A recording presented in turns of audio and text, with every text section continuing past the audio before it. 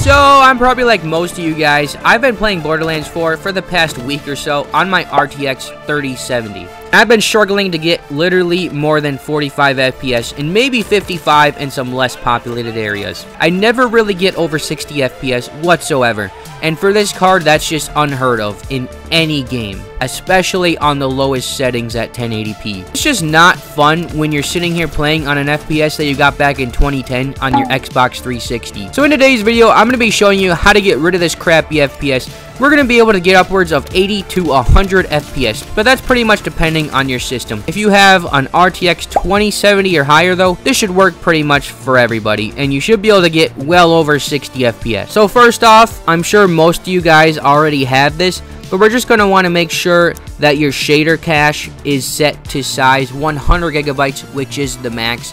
And this doesn't affect FPS as much as it just makes loading shaders in your world a lot faster. You're just going to want to make sure that your settings are set to the lowest as possible, going down the list and turning everything off. Then this next step is very important. If you have an NVIDIA graphics card, you're going to want to change this setting to DLSS, and we're going to want to put it on balance. And then this next step is probably the most important, more important than the last one. We're going to want to make sure we turn frame gen on. And if this option isn't showing up for you, I'm going to show you guys real quick on how to get this option. So all you're going to want to do is go down in the description, Download this DLSS enabler. It's in the description down below, top of the description. How many times am I going to say description? Anyways, you're going to want to install that and then open the folder where you installed it and copy and paste it into your files inside the folder to Borderlands 4, then open to Oak Games, then Binaries, then Windows 64.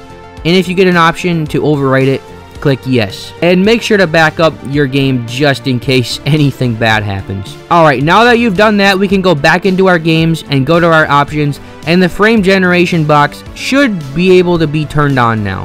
Pretty much it, guys. If you still don't have over 60 FPS, um, hopefully Hopefully they just put out an update soon that fixes this issue.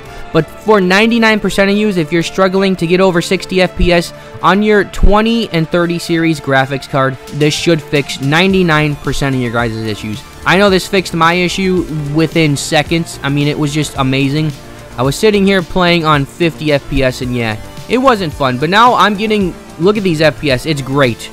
So anyways, if this helped you out in any way, make sure you leave a like, subscribe if you want to see more amazing Borderlands 4 content, but I will see you all in the next one. Later.